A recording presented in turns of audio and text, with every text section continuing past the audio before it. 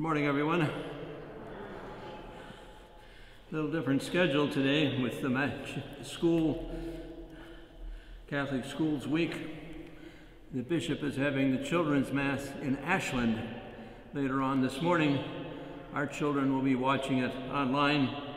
So tomorrow, this mass will just be an ordinary mass. It won't be the children's mass. And also, I'm going to use the mass for the sick. I think it's a good one to use during this pandemic situation, especially for those in our staffs that are involved right now. Mass is being offered for David Stoyevich, and pray for those who offer the Mass for him. So now let us pray. In the name of the Father, and of the Son, and of the Holy Spirit. The Lord be with you. We gather then in praise and adoration, we come to the Lord knowing our weaknesses, our faults and failings, and we ask pardon and forgiveness. Lord Jesus, you were sent to heal the contrite of heart. Lord, have mercy. Lord Jesus, you came to call sinners. Christ, have mercy. Lord Jesus, you will come in glory with salvation for all your people. Lord, have mercy. And may Almighty God have mercy on us, forgive us our sins, and bring us all to everlasting life. Let us pray. O God, who willed that our infirmities be borne by your only begotten Son, to show the value of human suffering, listen in kindness to our prayers for our brothers and sisters who are sick. Grant that all who are oppressed by pain, distress, or other afflictions may know that they are chosen among those proclaimed blessed and are united to Christ in his sufferings for the salvation of the world. Through our Lord Jesus Christ, your Son, who lives and reigns with you in the unity of the Holy Spirit, God, forever and ever. Let's listen now to the Word of God.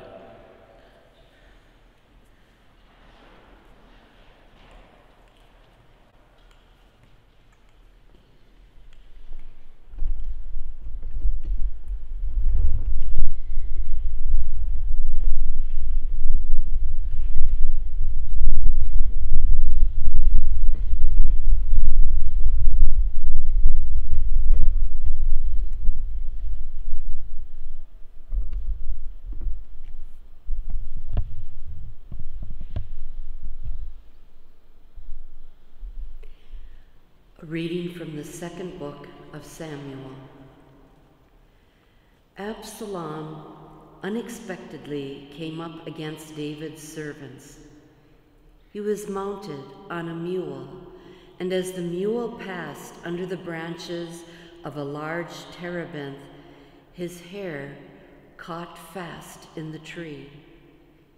He hung between heaven and earth, while the mule he had been riding ran off. Someone saw this and reported to Joab that he had seen Absalom hanging from a terebinth, and taking three spikes in hand, he thrust for the heart of Absalom, still hanging from the tree, alive. Now David was sitting between the two gates and a lookout went up to the roof of the gate above the city wall, where he looked about and saw a man running all alone. The lookout shouted to inform the king, who said, If he is alone, he has good news to report. The king said, Step aside and remain in attendance here. So he stepped aside and remained there. When the Cushite messenger came in, he said, Let my lord the king receive the good news that this day the Lord has taken your part, freeing you from the grasp of all who rebelled against you. But the king asked the Cushite, Is young Absalom safe? The Cushite replied, May the enemies of my lord the king and all who rebel against you with evil intent be as that young man. The king was shaken and went up to the room over the city gate to weep. And as he wept, he said, My son Absalom, my son, my son Absalom, if only I had died instead of you, Absalom, my son, my son. Joab was told that the king was weeping and mourning for Absalom, and that day's victory was turned into mourning for the whole army when they heard that the king was grieving for his son. The word of the Lord. Thanks be to God.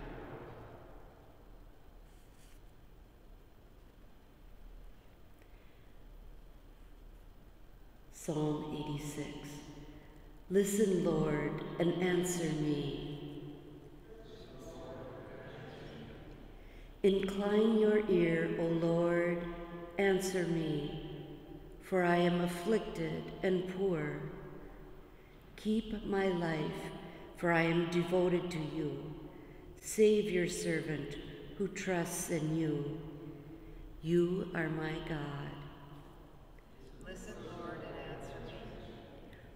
Have mercy on me, O Lord, for to you I call all the day. Gladden the soul of your servant, for to you, O Lord, I lift up my soul. Listen, Lord, and answer me.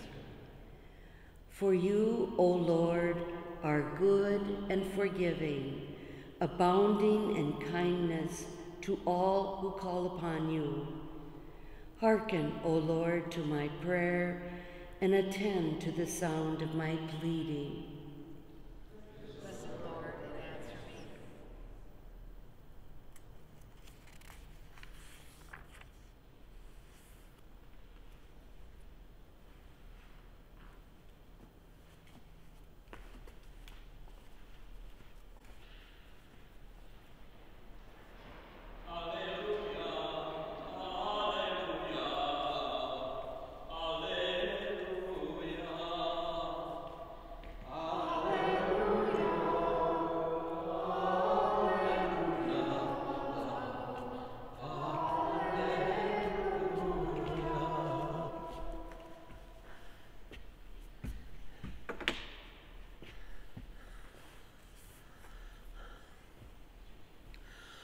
The Lord be with you.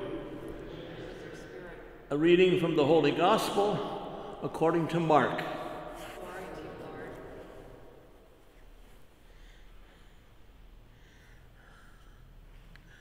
When Jesus had crossed again in the boat to the other side, a large crowd gathered around him, and he stayed close to the sea.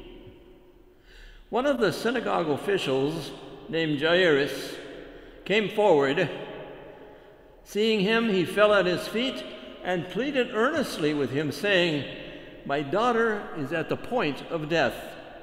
Please come, lay your hands on her, that she may get well and live.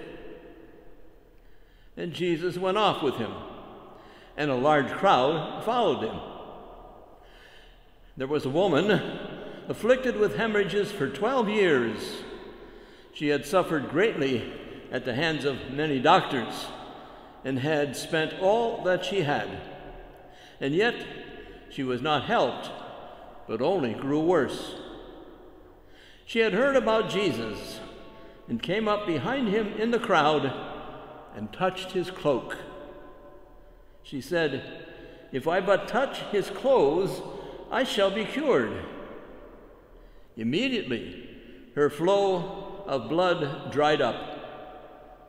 She felt in her body that she was healed of her affliction. Jesus, aware at once that power had gone out from him, turned around in the crowd and asked, Who has touched my clothes? But his disciples said to him, You see how the crowd is pressing upon you, and yet you ask, Who touched me?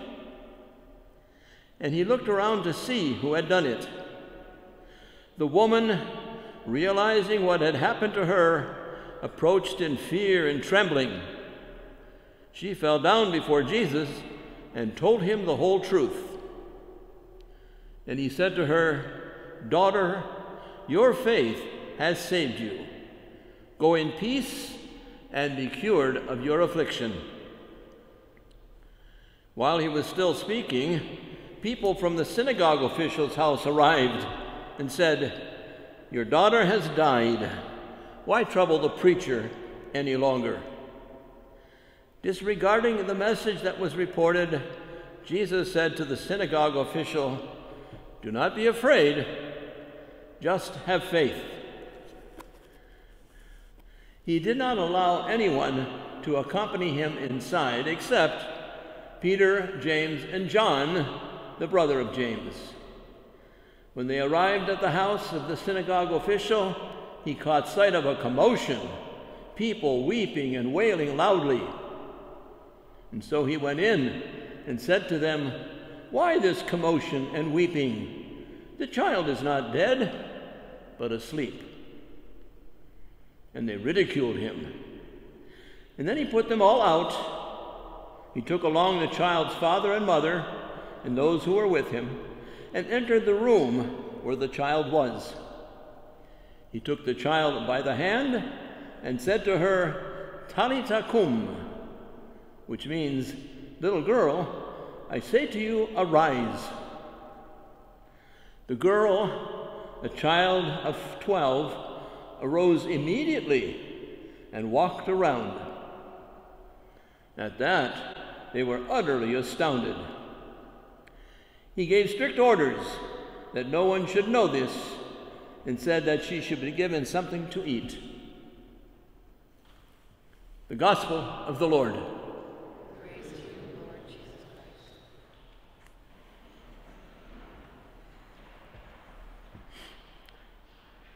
Do not be afraid, just have faith. When you're in prayer, like the response psalm said, Listen, Lord, and answer me. I can talk to a lot of people these days who are in prayer but don't seem to get healed. And people all around are dying of this virus. Sometimes we forget that when you ask a question of somebody, especially of God, there are two answers possible yes and no.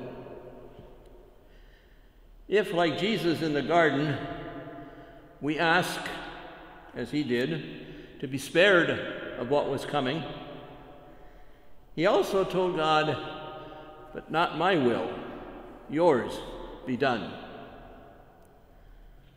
A true statement of faith that God knows more about the next step, what's necessary, than we do.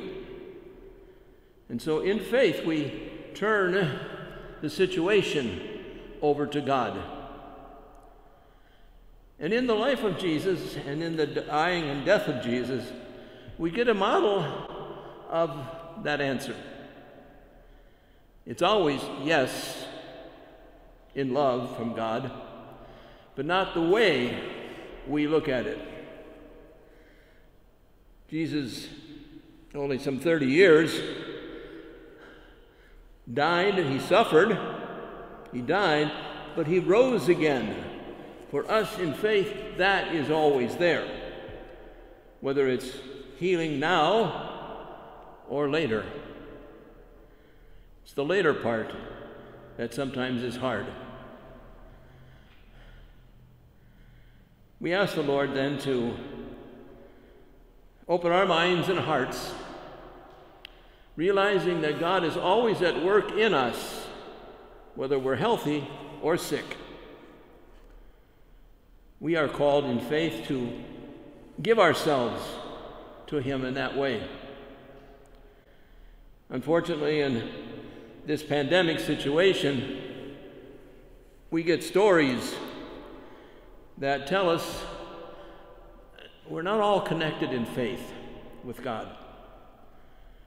Watch the news, listen to the descriptions of the death and dying, especially of famous people. It's like they're not in touch with that next step. Letting God work in them, be examples for us.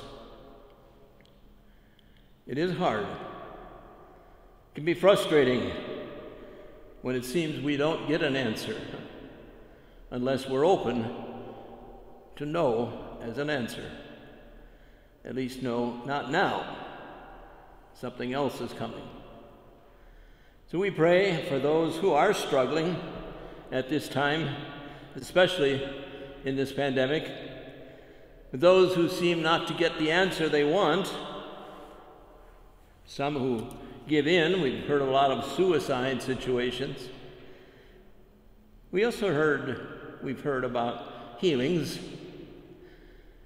Hard part is to see children suffering from this, and parents, of course, watching their children suffer and die. So we have really have to have a, a strong faith. Our Alleluia verse, if we had read the whole thing, would have been Christ took away our infirmities and he bore our diseases. God, unlimited, becomes limited in our human nature, including illnesses and especially unjust suffering and death for us. That's the gift of love. Recognizing the humanness of our lives. He knows what it's like to be limited, and but He also shows us the gift that's coming, the gift of future life. We thank you, Lord, for the gift of your life. We pray for our sick and struggling with their health, and we give thanks for the many medical people who are struggling also some of them putting their lives on the line for us. May God bless us all with healing and strength. So now we gather our prayers and intentions as we gather our gifts to bring them to the Lord at the altar. For the church, for deep healing within the church of some of its problems and difficulties, we pray to the Lord for our local officials here in the city, in the state, and in the country. We pray to the Lord. For all those suffering, especially from the virus, we pray to the Lord. And in this Catholic Schools Week, we pray for our teachers and staff, and we pray for parents who are making the sacrifice to send their children to our Catholic schools. We pray to the Lord. For the intention of this Mass, for David Stoyevich, and for those who offer it, we pray to the Lord. And for all of your intentions at home, the intentions in your heart. For all of these, we pray to the Lord. O most loving and gracious God, accept these prayers through the hands of your Son, Jesus Christ, our Lord. Amen. O God, we earnestly ask you to bless our diocese with many priests, brothers, sisters, and deacons who will love you with their whole mind and heart and gladly spend their entire lives serving your church and making you known and loved. Bless our families, bless our children, and choose from our homes those needed for your work. Mary, Queen of the clergy, pray for us. Pray for our priests, religious, and deacons obtain for us many more. We ask this through Christ our Lord. Amen.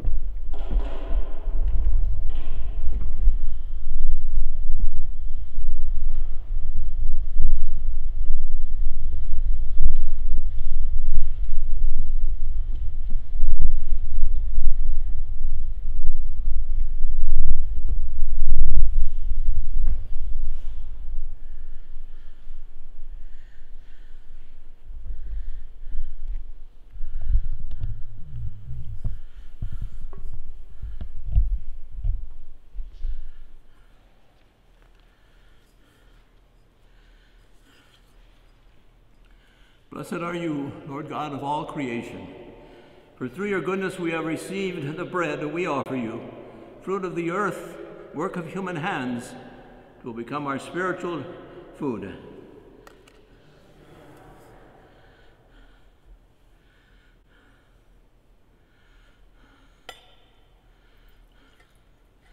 By the mystery of this water and wine, may we come to share in your divinity, Lord Jesus as you have shared in our humanity. And blessed are you, Lord God of all creation, for through your goodness we have received the wine we offer you, fruit of the vine, work of human hands. It will become our spiritual drink. With humble spirit and contrite heart, may we be accepted by you, O Lord, and may our sacrifice in your sight this day be pleasing to you, Lord God.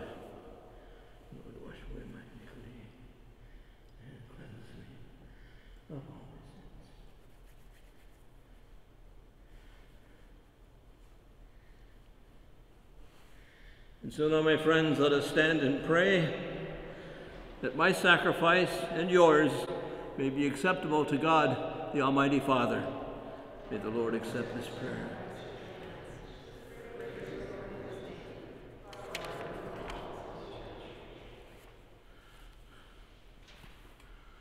Since the moment of our life unfold, O God, according to your good pleasure, receive the prayers and sacrificial offerings by which we implore your mercy for our brothers and sisters who are ill, that, having been anxious for them in their danger, we may rejoice at their recovery of health through Christ our Lord.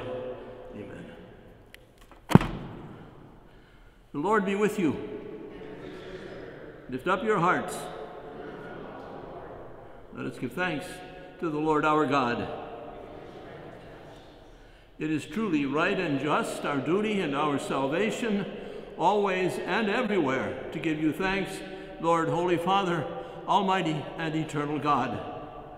For although you have no need of our praise, yet our thanksgiving is itself your gift, since our praises add nothing to your greatness, but profit us for salvation through Christ our Lord.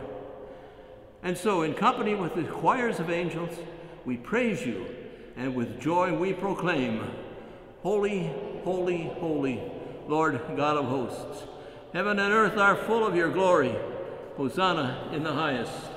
Blessed is he who comes in the name of the Lord. Hosanna in the highest.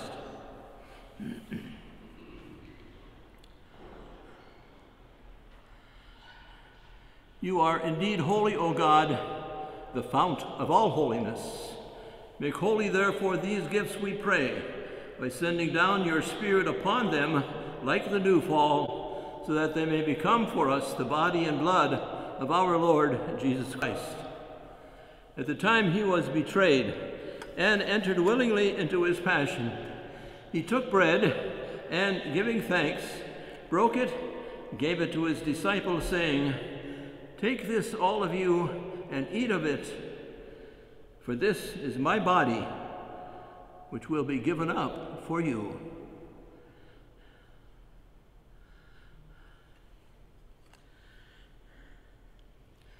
In a similar way, when supper was ended, he took the chalice.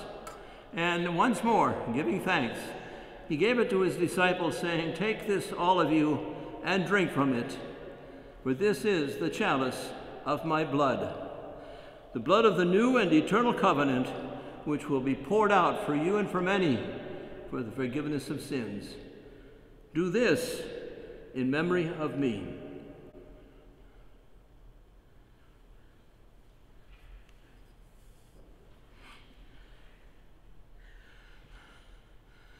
The mystery of faith. We proclaim your death, O Lord. We profess your resurrection until you come again.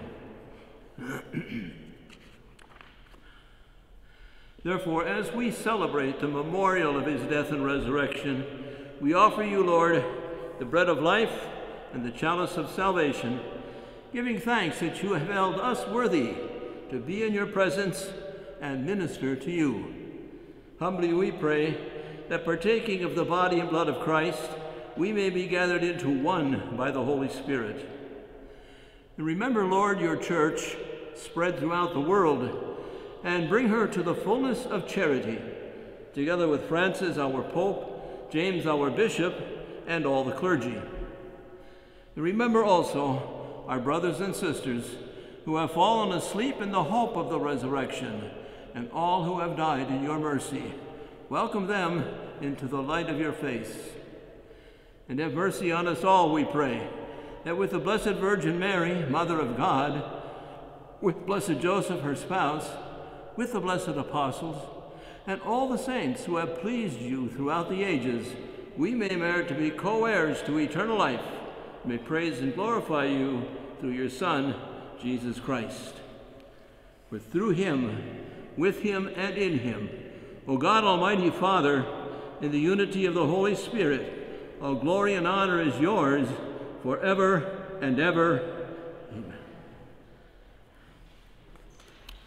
And so now at our Savior's command, and formed by divine teaching, we dare to pray. Our Father, who art in heaven, hallowed be thy name. Thy kingdom come, thy will be done, on earth as it is in heaven.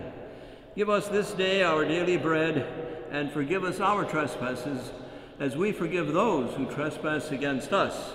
And lead us not into temptation, but deliver us from evil. Deliver us, Lord, we pray, from every evil. Graciously grant peace in our days, that by the help of your mercy we may be always free from sin and safe from all distress, as we await the blessed hope and the coming of our Savior, Jesus Christ. The kingdom, power, the glory are yours, now and forever. And Lord Jesus Christ, who said to your apostles, Peace I leave you, my peace I give you. Look not on our sins, but on the faith of your church, and graciously grant her peace and unity in accordance with your will, who live and reign forever and ever. May the peace of the risen Christ be with you now and always. Lamb of God, you take away the sins of the world. Have mercy on us. Lamb of God, you take away the sins of the world. Have mercy on us. Lamb of God, you take away the sins of the world. Grant us peace.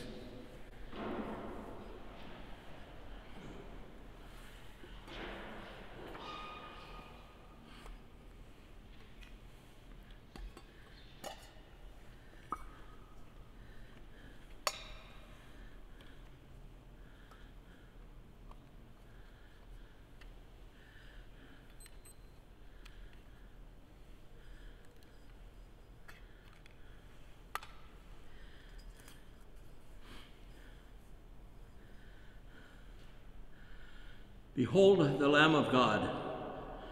Behold him who takes away the sins of the world. Blessed are those who are called to the supper of the Lamb.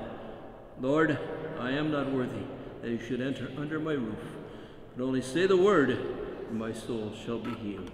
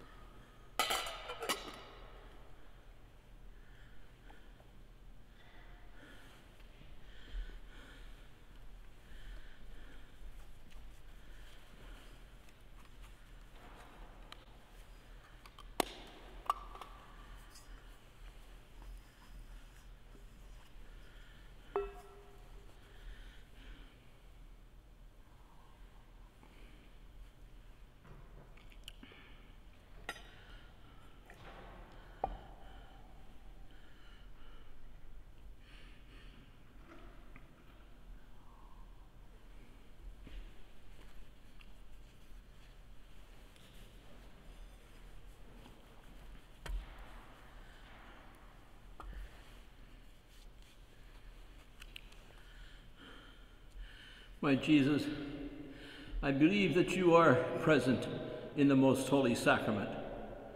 I love you above all things, and I desire to receive you into my soul.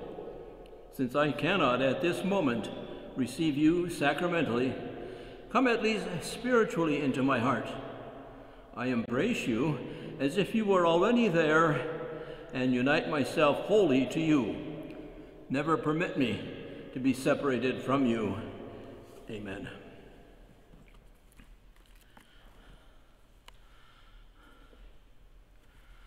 Let us pray. O God, only support of our human weakness, show the power of your protection over your servants who are sick, that, sustained by your merciful help, they may be restored to your holy church in good health. Through Christ our Lord. Amen. And continue to keep our Catholic school system in your prayers, especially those teachers who are willing to work for lower salaries than you could get in public schools, and for parents, grandparents who make the sacrifice to help send the kids here. My mother was grandparent to several children, and she insisted that my brother and sister have their kids come to hear the cathedral system. And in order to help pay for it, she actually went out into the yard at night and got night crawlers on her hands and knees to sell them and make money. She did that until she came face to face with a skunk. The Lord be with you. And may Almighty God bless us all, the Father, the Son, and the Holy Spirit. Our Eucharistic celebration here is ended. Let us go in peace. Thanks be to God. Have a good day. Watch out for the cold weather that's coming in.